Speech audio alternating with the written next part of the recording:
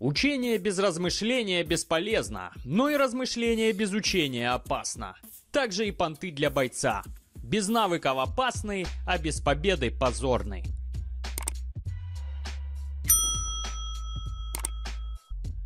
Как говорится, не будь дерьмом, и зеленые мухи тебя пощадят. Но когда боец в душе подлец, пощады не жди. Двойник Макгрегора решил, что подлый удар в солнышко перед боем даст ему преимущество. Но по факту он дал еще больше силы и мотивации сопернику, который отомстил негодяю сполна.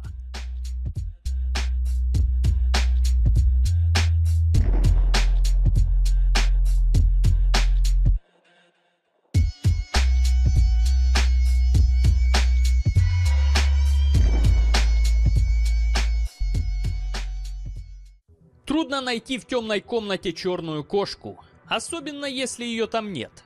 Также и в спаррингах. Трудно сдержаться, несмотря на то, что это не бой. На обычном спарринге мужики вошли в азарт и решили порубиться. Это бывает частенько. Но вот понты в такие моменты точно лишние. Ведь они злят еще больше. А выдержать удар в бороду не поможет даже дерзкий настрой. Только самые мудрые и самые глупые не хотят учиться, а боец должен учиться и тренироваться всегда, даже если он выступает на лучшем промоушене ММА. В поединке Грина против Парье первый решил, что достиг уровня Нео из Матрицы, поэтому постоянно требовал ударов и пытался от них уйти корпусом. Но все-таки, видать, Бобби перепутал таблетки, ведь все, что бросал в него Парье, прилетало в голову, он неоднократно укладывался на канвас, пока вся эта матрица не закончилась добиванием.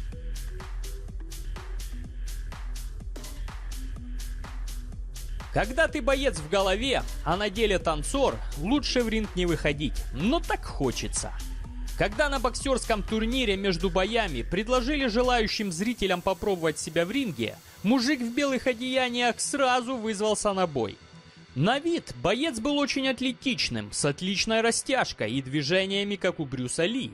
Даже рефери его побаивался. Но реальный бой это не кино, где можно стоять с опущенными руками и раскидывать всех по сторонам, как Чакраборти в фильмах. Первый деревенский удар от простого парня, и легенда погибла, так и не родившись.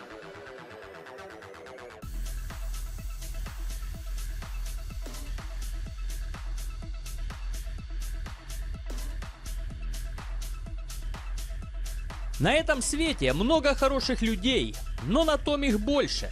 А в ринг выходит много хороших бойцов, но уходит с него в два раза меньше. Красавчик в зеленых шортах показал отличные навыки. Он наносил быстрые удары, демонстрировал отличную защиту и сокращал дистанцию. Казалось, что он может отправить оппонента в нокаут в любой момент. Но чрезмерные понты с постоянным подниманием рук и призывом публики обернулись для него наказанием самой кармы. Когда после несильного удара он завалился назад и подвернул ногу, после чего ему был засчитан технический нокаут.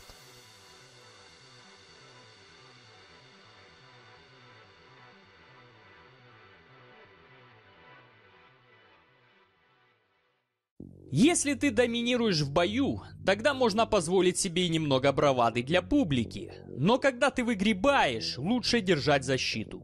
Но есть монстры, которые делают все наоборот. Прямо как Фернандес в бою против Санчеса. Он постоянно просил удары, и Санчес ему их добродушно давал не жалея. Но сам Фернандес вообще не отвечал, что естественно привело к нокауту.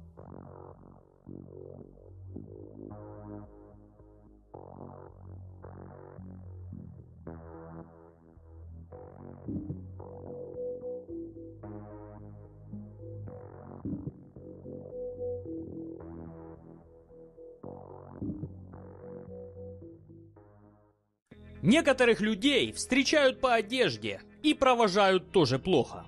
А в этом поединке на топовом турнире One Championship бойца из Китая встретили бы вроде хорошо, но его манера пьяного мастера плохо для него закончилась.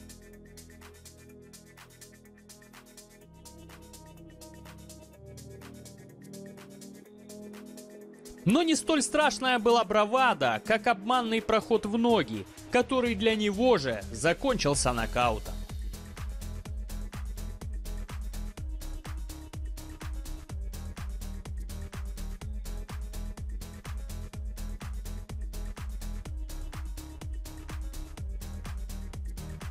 Мало найти свое место в жизни, нужно найти его первым, а для бойца недостаточно угрожать на пресс-конференциях, как это делал Стиверн. Нужно еще и выиграть в бою. Ну или хотя бы достойно в нем себя показать.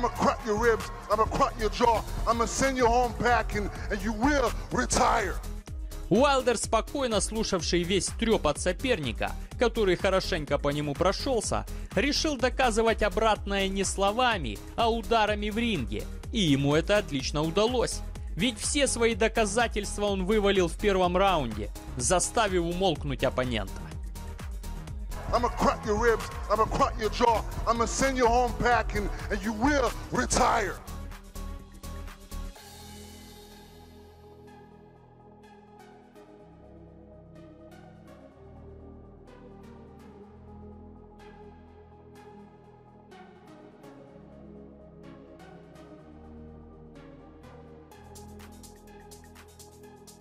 Ничто так не ранит человека, как осколки собственного счастья, а ничто так не печалит бойца, уверенного в своих силах, как поражение нокаутом. Боец слева на взвешивании не хотел, чтобы бицуху его оппонента считали мощной, поэтому со злобным взглядом он решил показать свою, заодно убрав конкурента с такой маленькой сценой, что вылилось в потасовку.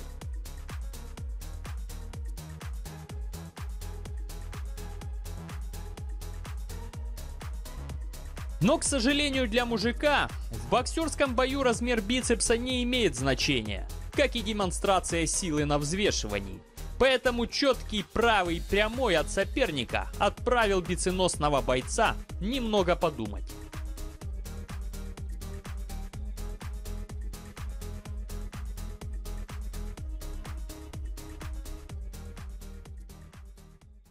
Нашедшего выход при пожаре затаптывают первым, а боец, который начинает верить в свое превосходство, может первым упасть. Прямо как Весби, который решил, что у него могучие удары и несокрушимый подбородок, от чего можно опустить руки и показать агрессию. Но Родригес молча и спокойно сделал свое дело, четко пробив левый хук.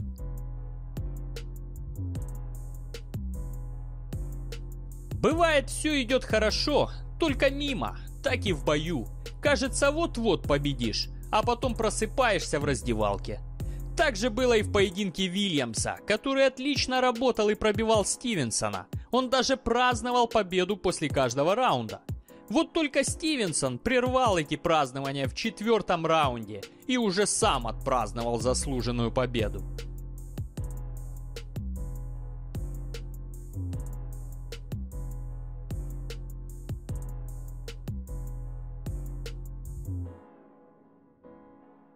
Подписывайтесь на канал, ставьте лайк, жмите колокольчик и делитесь видео в соцсетях. А в комментах напишите, нравятся ли вам понты в ринге или только в кабаках. А поддержать канал и получить мою благодарность вселенской силы вы можете став спонсором канала, даже за символическую сумму в пару долларов по ссылке возле кнопки подписаться, увековечив свое имя в конце видео и получив плюс 100 к карме. Или поддержите канал любой суммой по ссылке в описании. А если вы хотите привести себя в форму и освоить навыки самообороны и ударной техники в стиле Muay а также посмотреть серьезные обзоры боев, подписывайтесь на мой второй канал по ссылке в описании. Или забирайте бесплатные видеокурсы также по ссылкам в описании. И не забудьте подписаться на телеграм-группу Движуха с Федоровичем, куда я даю полезные фишки, наработки, мотивирую и анонсирую предстоящие спортивные движухи. Благодарю за просмотр и настойчивости в тренировках.